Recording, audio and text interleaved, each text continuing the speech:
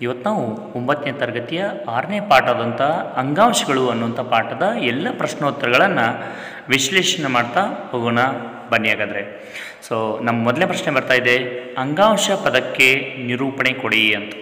ಒಂದೇ ರೀತಿಯ ರಚನೆ ಉಳ್ಳ, ಒಂದೇ ರೀತಿಯ ಕಾರ್ಯನಿರ್ವಹಿಸುವ ಜೀವಕೋಶಗಳ ಗುಂಪಿಗೆ ಅಂಗಾಂಶ ಎನ್ನುತ್ತಾರೆ. ಎರಡನೇ ಪ್ರಶ್ನೆ, ಎಷ್ಟು ವಿಧದ ಘಟಕಗಳು ಕೂಡಿ ಜೈಲಮ್ ಅಂಗಾಂಶ ರೂಪಿಸುತ್ತವೆ. ಮತ್ತು ಅವುಗಳನ್ನು ಹೆಸರಿಸಿ ಅಂತ. ನಾಲ್ಕು ವಿಧದ ಘಟಕಗಳು ಕೂಡಿ ಜೈಲಮ್ ಅಂಗಾಂಶವನ್ನು ರೂಪಿಸ್ತವೆ ಅವುಗಳೆಂದರೆ ಟ್ರಕಿಡ್ ನಾಳಗಳು ಜೈಲಮ್ ಪ್ಯಾರಂಕೈಮ ಜೈಲಮ್ ನಾರುಗಳು ಅಂತ. ನಮ್ಮ ಮೂರನೇ ಪ್ರಶ್ನೆ ಹೋಗ್ತಾ ಇದ್ದೀವಿ. ಸಸ್ಯಗಳಲ್ಲಿನ ಸರಳ ಶಾಶ್ವತ ಅಂಗಾಂಶಗಳು ಸಂಕೀರ್ಣ ಶಾಶ್ವತ ಅಂಗಾಂಶಗಳಿಗಿಂತ ಹೇಗೆ ಭಿನ್ನವಾಗಿವೆ? ಆನ್ಸರ್ ಸರಳ ಶಾಶ್ವತ ಅಂಗಾಂಶಗಳೆಲ್ಲ ಪರಸ್ಪರ ಒಂದೇ ರೀತಿ ಕಾಣುವ ಒಂದು ವಿಧದ ಜೀವಕೋಶಗಳಿಂದ ಮಾಡಲ್ಪಟ್ಟಿವೆ.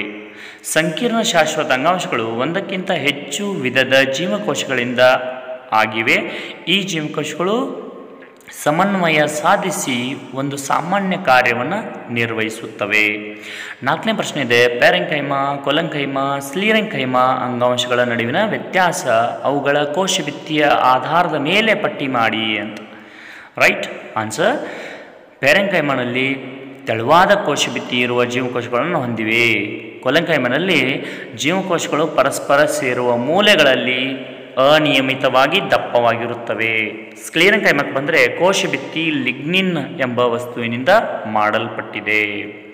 ಅದೇ ಪೆರೆಂಕೈಮಕ್ಕೆ ಬಂದರೆ ಪೇರೆಂಕೈಮ ಅಂಗಾಂಶದ ಜೀವಕೋಶಗಳು ಸಾಮಾನ್ಯವಾಗಿ ಸಡಿಲವಾದ ಜೋಡಣೆ ಹೊಂದಿದ್ದು, ಜೀವಕೋಶಗಳ ನಡುವೆ ದೊಡ್ಡ ಖಾಲಿ ಜಾಗ ದಟ್ ಇಸ್ ಅಂತರ್ಕೋಶ ಅವಕಾಶಗಳು ಕಂಡುಬರುತ್ತವೆ. ಕೊಲಂಕೈಮನಲ್ಲಿ ಅಂತರ್ಕೋಶೀಯ ಅವಕಾಶಗಳು ತುಂಬ ಕಡಿಮೆ ಇರುತ್ತವೆ. ಅದೇ ಸ್ಕ್ಲೇರಂಕೈಮಕ್ಕೆ ಬಂದರೆ ಕೋಶಭಿತ್ತಿಯು ದಪ್ಪವಾಗಿರುತ್ತದೆ, ಜೀವಕೋಶದೊಳಗೆ ಕೋಶೀಯ ಅವಕಾಶಗಳಿರುವುದಿಲ್ಲ. ರೈಟ್ ನಮ್ಮ ಐದನೇ ಪ್ರಶ್ನೆಗೆ ಬಂದರೆ ಪತ್ರರಂಧ್ರಗಳ ಕಾರ್ಯವೇನು? ವಾತಾವರಣದಿಂದ ಅನಿಲಗಳ ವಿನಿಮಯ ಪ್ರಕ್ರಿಯೆಗೆ ಪತ್ರರಂಧ್ರಗಳ ಅಗತ್ಯತೆ ಇದೆ. ಬಾಷ್ಪ ವಿಸರ್ಜನೆ ರೂಪದಲ್ಲಿ ದಟ್ಸ್ ಅ ನೀರಾವಿ ರೂಪದಲ್ಲಿ ಸಸ್ಯ ದೇಹದಿಂದ ನೀರು ನಷ್ಟವಾಗುವಿಕೆಗೂ ಕೂಡ ಪತ್ರರಂಧ್ರಗಳ ಮೂಲಕನೇ ನಡೀತದೆ. ಹಾಗಾಗಿ ಇವು ಅಗತ್ಯತೆ, ಇವುಗಳ ಕೆಲಸ ಆಗಿದೆ. ಇನ್ನು ಆರನೇ ಪ್ರಶ್ನೆಗೆ ಬಂದರೆ, ಮೂರು ವಿಧದ ಸ್ನಾಯುಗಳ ನಡುವಿನ ವ್ಯತ್ಯಾಸಗಳನ್ನು ಚಿತ್ರದ ಮೂಲಕ ತೋರಿಸಿ ಅಂತ ಹೇಳ್ತಿದ್ದಾರೆ. ನಾವು ಇಲ್ಲಿ ನೋಡ್ತಿದ್ದೀವಿ ಚಿತ್ರದಲ್ಲಿ, ಪಟ್ಟಿ ಸಹಿತ ಸ್ನಾಯುಗಳು ಕೊಳವೆ ಆಕಾರದಲ್ಲಿರ್ತವೆ ಭೋಕೋಶ ಕೇಂದ್ರಗಳನ್ನು ಹೊಂದಿರ್ತವೆ, ಅದರ ಮೇಲೆ ಬಹಳಷ್ಟು ಪಟ್ಟೆಗಳನ್ನು ನಾವು ಕಾಣ್ತೀವಿ. ಇನ್ನು ಮೃದು ಸ್ನಾಯುಗಳು ಕದರಿನಾಕಾರದ ರಚನೆಯನ್ನು ಹೊಂದಿರುತ್ತವೆ, ಏಕಕೋಶೀಯ ಕೇಂದ್ರಗಳನ್ನು ಹೊಂದಿರುತ್ತವೆ, ಮೃದುವಾಗಿರುತ್ತವೆ, ಯಾವುದೇ ರೀತಿ ಪಟ್ಟೆಗಳನ್ನು ಹೊಂದಿರುವುದಿಲ್ಲ. ಇನ್ನು ಹೃದಯ ಸ್ನಾಯುಕ್ಕೆ ಬಂದರೆ ಈ ಸ್ನಾಯುಗಳು ಹೃದಯದಲ್ಲಿ ಮಾತ್ರ ಕಂಡುಬರ್ತವೆ. ಇವುಗಳು ಬಹುಕೋಶ ಕೇಂದ್ರಗಳನ್ನು ಹೊಂದಿದ್ದು ಪಟ್ಟೆ ಸಹಿತ ಸ್ನಾಯುವಿನಂತೆಯೇ ಕಂಡುಬರುತ್ತವೆ. ಏಳನೇ ಪ್ರಶ್ನೆ, ಹೃದಯ ಸ್ನಾಯುಗಳ ನಿರ್ದಿಷ್ಟ ಕಾರ್ಯವೇನು? ಹೃದಯ ಸ್ನಾಯುಗಳು ಅತ್ಯಂತ ಲಯಬದ್ಧವಾದ ಸಂಕೋಚನ ಮತ್ತು ವಿಕಸನವನ್ನು ಜೀವನವಿಡೀ ತೋರುತ್ತವೆ ಮತ್ತು ದೇಹದ ಎಲ್ಲ ಭಾಗಗಳಿಗೆ ರಕ್ತವನ್ನು ಸಾಗಿಸುವಲ್ಲಿ ಇವುಗಳ ಪಾತ್ರ ಅತ್ಯಂತ ಮಹತ್ವದ್ದು. ಇನ್ನು ಎಂಟನೇ ಪ್ರಶ್ನೆ ಹೋಗ್ತಾ ಇದ್ದೀವಿ. ಪಟ್ಟೆ ಸಹಿತ ಸ್ನಾಯುಗಳು ಪಟ್ಟೆಯ ರಹಿತ ಸ್ನಾಯುಗಳು ಮತ್ತು ಹೃದಯ ಸ್ನಾಯುಗಳ ನಡುವಿನ ವ್ಯತ್ಯಾಸ ಅವುಗಳ ರಚನೆ ಮತ್ತು ನಮ್ಮ ದೇಹದಲ್ಲಿ ಅವುಗಳ ಸ್ಥಾನವನ್ನು ಆಧರಿಸಿ ಬರೆಯಿರಿ ಅಂತ ಹೇಳ್ತಾರೆ. ಪಠ್ಯ ಸಹಿತ ಸ್ನಾಯುಗಳು ತೆಳುವಾದ ಮತ್ತು ಅಡ್ಡಗೆರೆಗಳ ಅನುಕ್ರಮವಾಗಿ ಕಂಡುಬರುತ್ತವೆ. ಪಠ್ಯರಹಿತ ಸ್ನಾಯುಗಳಲ್ಲಿ ಅಡ್ಡಗೆರೆಗಳು ಕಂಡುಬರುವುದಿಲ್ಲ. ಪಟ್ಟೆಗಳು ಅಥವಾ ಅಡ್ಡಗೆರೆಗಳು ಹೃದಯ ಸ್ನಾಯುದಲ್ಲೂ ಕಂಡುಬರುತ್ತವೆ.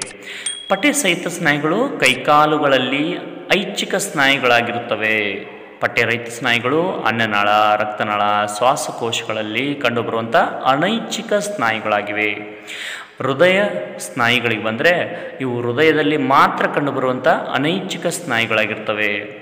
ಪಟ್ಟೆ ಸಹಿತ ಸ್ನಾಯುಗಳು ಕೋಶಗಳು ನೀಳವಾಗಿ ಕೊಳವೆ ಆಕಾರದಲ್ಲಿರ್ತವೆ ಮತ್ತು ಶಾಖೆಗಳನ್ನು ಹೊಂದಿಲ್ಲ.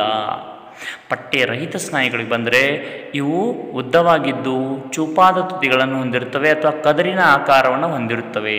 ಹೃದಯ ಸ್ನಾಯುಕ್ಕೆ ಬಂದರೆ ಸ್ನಾಯು ತಂತುಗಳು ಕೊಳವೆ ಆಕಾರವಾಗಿದ್ದು ಶಾಖೆಗಳಾಗಿ ಒಡೆದಿ, ಒಡೆದಿವೆ.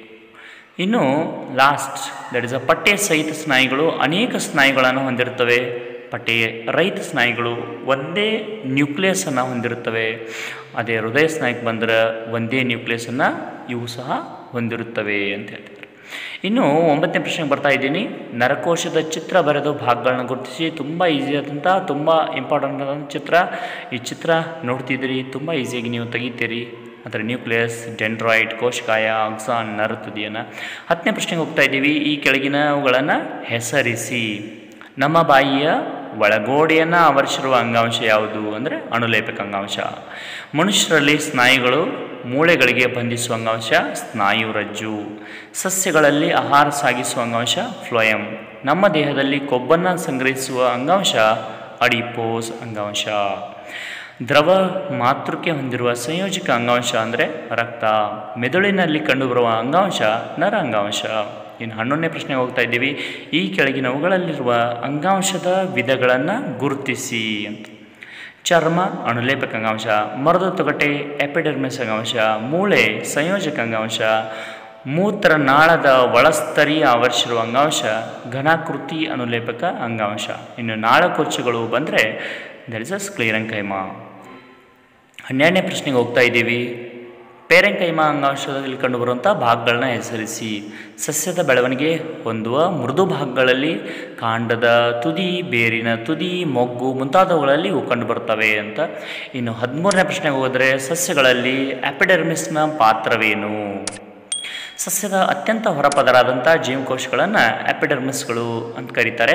ಆಪಿಡರ್ಮಿಸ್ ಸಾಮಾನ್ಯವಾಗಿ ಒಂದೇ ಪದರದ ಜೀವಕೋಶಗಳಿಂದ ಮಾಡಲ್ಪಟ್ಟಿದೆ. ಒಂದು ಸಸ್ಯದ ಸಂಪೂರ್ಣ ಹೊರಮೈ ಎಪಿಡರ್ಮಿಸ್ ಎಂಬ ಈ ಹೊರಹೊದಿಕೆಯನ್ನು ಹೊಂದಿದೆ. ಇದು ಸಸ್ಯದ ಎಲ್ಲ ಭಾಗಗಳನ್ನು ರಕ್ಷಿಸುತ್ತದೆ. ಸಸ್ಯದ ಹೊರಭಾಗಗಳಲ್ಲಿ ಕಂಡುಬರುವಂಥ ಎಪಿಡರ್ಮಿಸ್ ಜೀವಕೋಶಗಳು ನೀರನ್ನು ಪ್ರತಿರೋಧಿಸುವ ಮೇನದಂತಹ ಪದಾರ್ಥವನ್ನು ತಮ್ಮ ರೂಪದಲ್ಲಿ ದರ್ಜ ಹೊರಪದರದಲ್ಲಿ ಸ್ರವಿಸುತ್ತವೆ. ಇದು ನೀರಿನ ನಷ್ಟದ ವಿರುದ್ಧ ಯಾಂತ್ರಿಕ ಆಘಾತಗಳಿಂದ ಮತ್ತು ಪರೋಪಜೀವಿ ದಡಿಸ ಸಿಲಿಂಡರ್ಗಳಂತಹ ಆಕ್ರಮಣದಿಂದ ರಕ್ಷಣೆಯನ್ನು ಒದಗಿಸುತ್ತದೆ. ರಕ್ಷಣಾತ್ಮಕ ಕಾರ್ಯದಲ್ಲಿ ಇದು ಪ್ರಮುಖವಾಗಿರುತ್ತದೆ. ಎಪಿಡರ್ಮಲ್ ಅಂಗಾಂಶವು ಯಾವುದೇ ಅಂತರ್ಕೋಶೀಯ ಅವಕಾಶಗಳಿಲ್ಲದೆ ಉದ್ದನೆಯ ಪದರವನ್ನು ಸಸ್ಯದ ಹೊರಮೈಯಲ್ಲಿ ಉಂಟು ಮಾಡುತ್ತದೆ ನೀರನ್ನು ಹೀರಿಕೊಳ್ಳುವ ಕಾರ್ಯವೇ ಪ್ರಧಾನವಾಗಿರುವಂಥ ಬೇರಿನ ಎಪಿಡರ್ಮ್ ಸಾಮಾನ್ಯವಾಗಿ ನೀರನ್ನು ಹೀರಿಕೊಳ್ಳುವ ಕಾರ್ಯವೇ ಪ್ರಧಾನವಾಗಿರುವಂಥ ಬೇರಿನ ಎಪಿಡರ್ಮಲ್ ಜೀವಕೋಶಗಳು ಸಾಮಾನ್ಯವಾಗಿ ಉದ್ದನೆಯ ಕೂದಲಿನಂಥ ರಚನೆಗಳನ್ನು ಹೊಂದಿವೆ. ಇವು ನೀರನ್ನು ಹೀರುವ ಮೇಲ್ಮೈ ಪ್ರದೇಶವನ್ನು ಬಳಸುವಷ್ಟು ಹೆಚ್ಚಿಗೆ ಹೆಚ್ಚಿಸುತ್ತವೆ.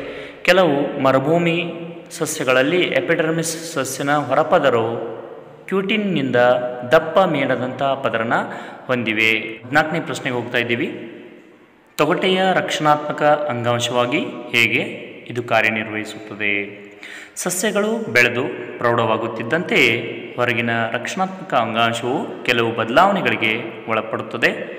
ದ್ವಿತೀಯಕ ವರ್ಧನ ಅಂಗಾಂಶ ಒಂದು ಪಟ್ಟಿಯು ಕಾಂಡದ ಎಪಿಡರ್ಮಸ್ ಅಂಗಾಂಶವನ್ನು ಬದಲಿಸುತ್ತದೆ ಸಸ್ಯದ ಹೊರಭಾಗದ ಜೀವಕೋಶಗಳು ಈ ಪದರದಿಂದ ಉಂಟಾಗುತ್ತವೆ. ಇದು ಹಲವು ಪದರಗಳುಳ್ಳ ದಪ್ಪವಾದ ಮರದ ತೊಗಟೆಯನ್ನು ಉಂಟು ಮಾಡುತ್ತದೆ ತೊಗಟೆಯ ಜೀವಕೋಶಗಳು ನಿರ್ಜೀವವಾಗಿದ್ದು ಅನೇಕ ಅಂತರ್ಕೋಶೀಯ ಅವಕಾಶಗಳಿಲ್ಲದಂತೆ ಒತ್ತೊತ್ತಾಗಿ ಜೋಡಣೆಗೊಂಡಿರುತ್ತವೆ.